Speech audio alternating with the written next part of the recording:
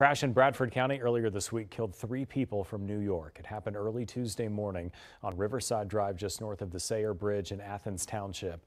46-year-old Brett Relyea was headed south at a high rate of speed, lost control of the vehicle, and crashed into a truck. Relyea and passengers Melanie Schnurbusch and Arthur Bidlak died at the scene.